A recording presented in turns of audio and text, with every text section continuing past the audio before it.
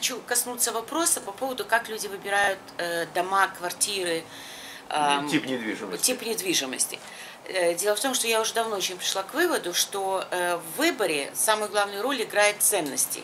Не ваша цена, не то, что вы любите такой дом или такой дом, это все уже вторичное. Угу. Первичное это именно ценности, что, чем вы руководствуетесь, что для вас самое главное, что самое ценное и в жизни, и на данной ситуации в вашей uh-huh, жизни. Uh-huh. Например, если у вас там, например, маленькие дети, то вы ни в коем случае не захотите жить там, где рядом у вас будет проходная area, будут клубы ночные, дискотеки да, и прочее. Да, Правильно? Да. Правильно.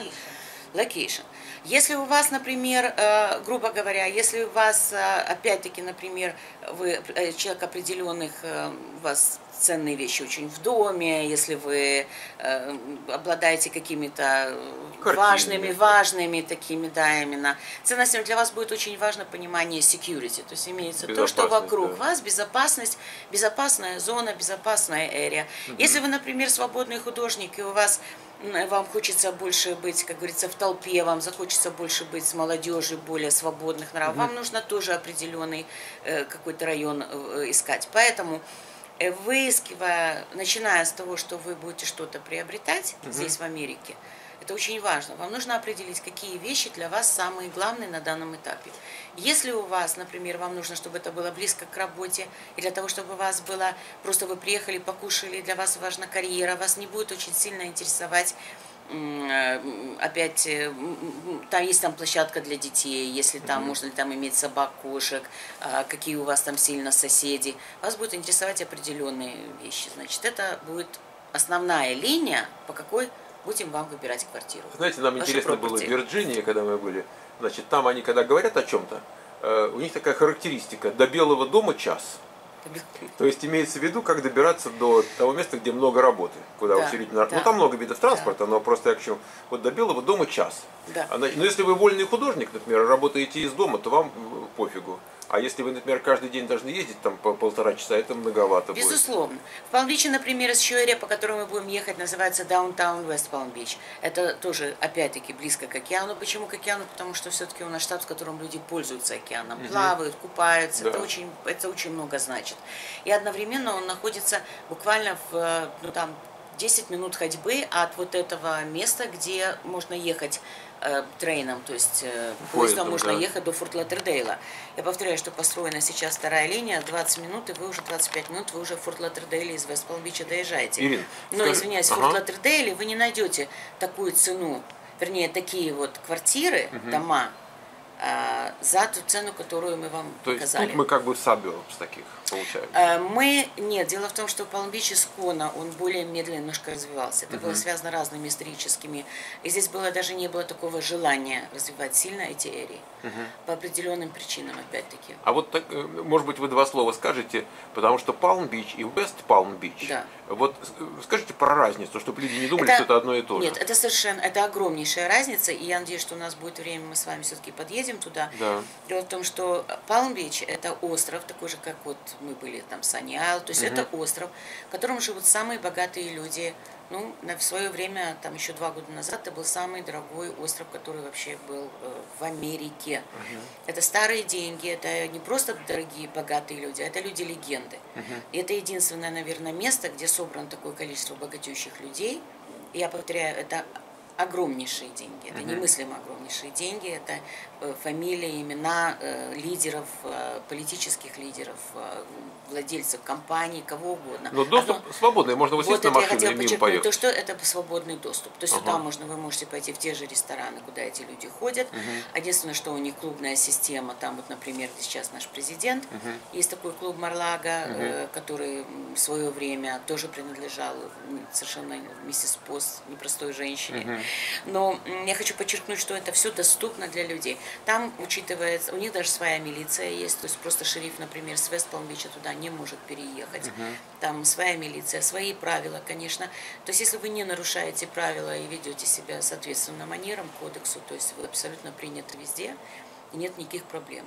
А Вест Палм-Бич это город сейчас тоже очень сильно расстроенный, тоже мы проедем, у нас свои театры, свои пешеходные зоны, и опять-таки Но это называется West Palm Beach. Но пусть название вас, похожесть названия, пусть вас не смущает. Это разные, разные миры. Это как вот у нас Пала-Алта и из Пала-Алта, да, это разные два города ну, не да. с чем сравнить, но угу. это очень разные города. Угу. И я же говорю, э, раньше этот не было так сильно известно, потому что не было, так как у нас Трамп стал президентом, угу. То таким образом это стало очень э, явно, и об этом стало очень много писаться, и стало много известно. Угу. Но э, всегда этот город существовал и накладывал отпечаток на Вест Палм-Бич, потому что это люди строили для э, своего, как бы, э, они вкладывали деньги на те вещи, на те отрасли, которые нужно им было для Э, поддерживания их уровня жизни. Можно вот сказать, так. что в Вест Палм-Бич живет, э, ну скажем, обслуга, вот, да, те, кто работает на э, я не могу так сказать. На сегодняшний день раньше было, да. Угу. Раньше, когда-то, когда это строилось, еще в начале этого века, потому что все это возвращается к истории начала 20 века, когда uh-huh. был такой флаглер, который приехал и здесь практически построил полностью а, в Палм-Бич, он построил очень много вещей, но это опять история uh-huh. Палм-Бича. Он привез сюда известнейших архитекторов, художников, э, музыкантов, все абсолютно. Отсюда идет история, да. Uh-huh. И опять-таки Палм-Бич, Вест Палм-Бич на сегодняшний день живет своей жизнью абсолютно. Мало того, он разделен на такие сферы, где Например, э, те, кто вы найдете абсолютно интересы по любым, вот любые ваши интересы вы можете найти а, здесь, где их воплотить. У нас, например, есть очень много количества галерей, все, кто любит, опять-таки, искусство, художники, артисты. Э, у нас большой оперный театр. Все, помимо этого, у нас есть, например, поло-клаб, то есть все, что касается пола, это игра в поло, я не да, знаю, как да. это все с лошадями. У нас проходят Олимпийские игры здесь. Это целый район, называется Веллингтон. Угу. Очень богатый, там огромные ранчи. У нас находится сейчас, у нас находится огромнейшая, все, что касается автомобильной промышленности, то есть угу. имеется в виду сдача, э, сервисы, угу. самые дорогие машины. То есть я здесь. обобщая скажу так, что э, те ребята, которые посмотрели наш сериал, который еще не закончился, но тем не менее, Значит, э, мысль такая, что это не просто место где-то на отшибе, в котором жилье подешевле, а это место вполне полноценное, с культурной жизнью, с близостью, достижимостью легкой. Богатейшим людям. Э, э, ну, даже не столько к этим людям, сколько к, ко всем ценностям культурным или и остальным, там, пляжам и так далее, которые вот у тех же богатейших людей, там, ну, кроме тех, где нужно пропусками вот. Да, и я еще хочу сказать, угу. что это только, э, мы говорим сейчас только за Палм-Бич, угу. но вот сейчас мы находимся в районе, который называется Джупитер, и мы с вами угу. проедемся, я это город провезу. Именно? Это город Джупитер. Угу. Значит, это находится, я сказала уже, где-то 15 минут езды от Вест Палм-Бича по хайвею. Угу. Этот город тоже находится на океане, вот мы проедемся отсюда до океана конкретно 15 минут. Угу. Здесь построятся новые вот такие маленькие города, по-нашему, наверное, спутники, угу. или как бы угу. вот такие микрорайоны небольшие, но угу. это все маленькое. Но дело в том, что здесь очень много работ, здесь очень много частных бизнесов, здесь очень много всего, что связано с рыбным делом.